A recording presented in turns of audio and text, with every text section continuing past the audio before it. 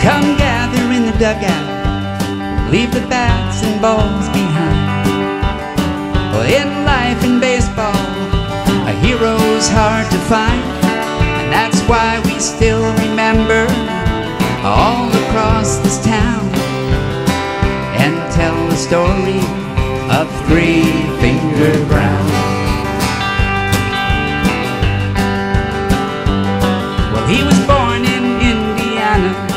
Where he lost part of his hand. But then he found a curveball that could strike out any man. After St. Louis, he was Chicago bound. The Cubs had a rookie named Three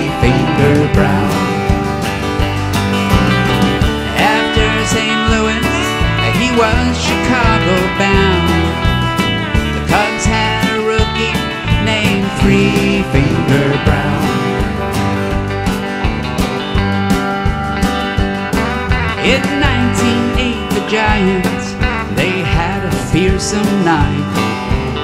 They fought us to one final game, the season on the line.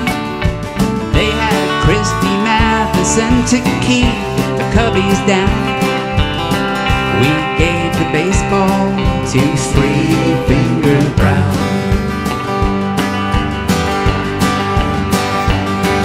But the gangsters, they had told him his life was at stake.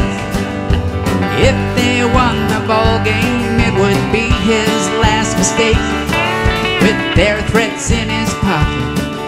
walked on to the mound. And no man stood taller than Three Finger Brown. With their threats in his pocket, eh, he walked on to the mound. No man stood taller than Three Finger Brown. His curveball dipped and darted right through the strike zone drought. The Giants never had a chance. The Cubs wound up on top. Yeah, he brought home the pennant, and then he brought home the crown. The pride of Chicago was Three Finger Brown.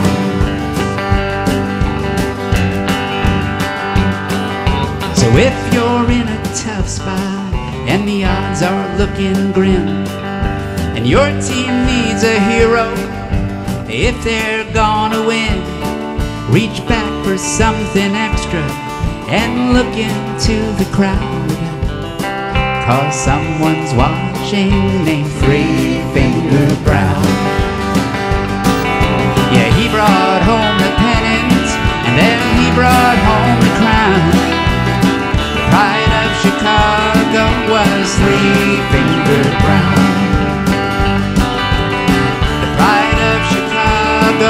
The pride